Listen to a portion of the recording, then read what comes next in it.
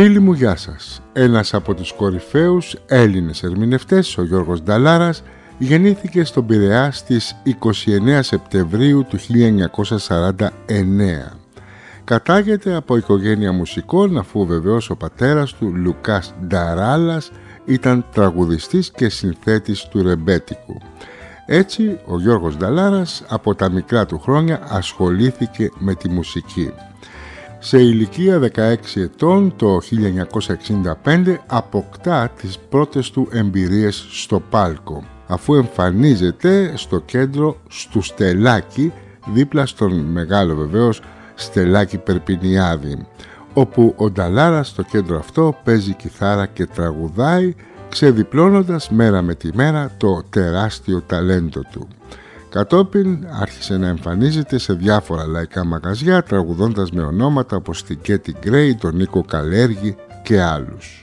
Μόλις στα 18 του χρόνια, το 1967, ήρθε και η επαφή του με την δισκογραφία.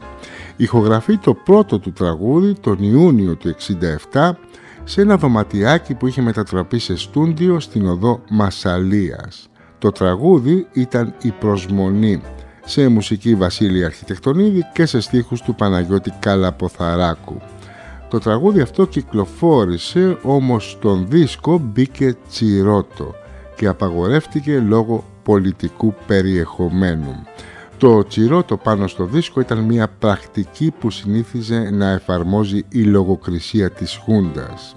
Αργότερα με την μεταπολίτευση το τραγούδι αυτό ξαναβγήκε σε 45 Προσμονή λοιπόν πρώτο τραγούδι για τον Γιώργο Νταλάρα.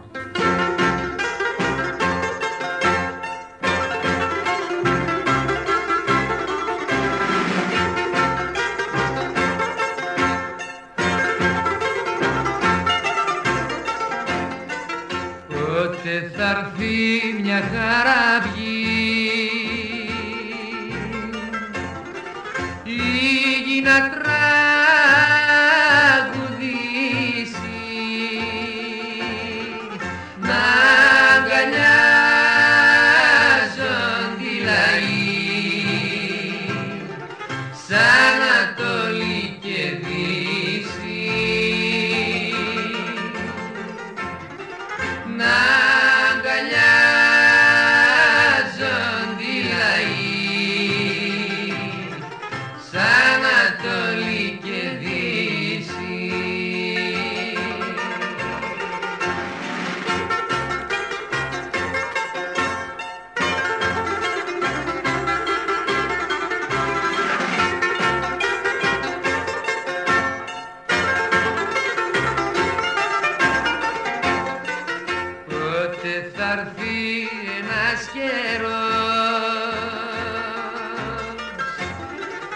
φτώχει κι απόσταμε